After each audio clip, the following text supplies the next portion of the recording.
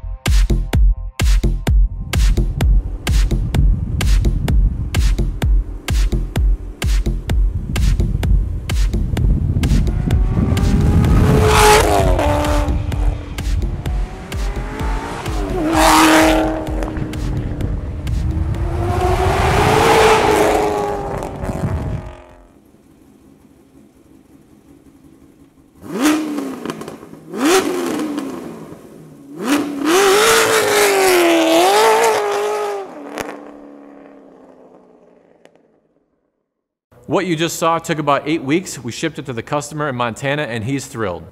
Bottom line, if you want it done right, send it to Katech.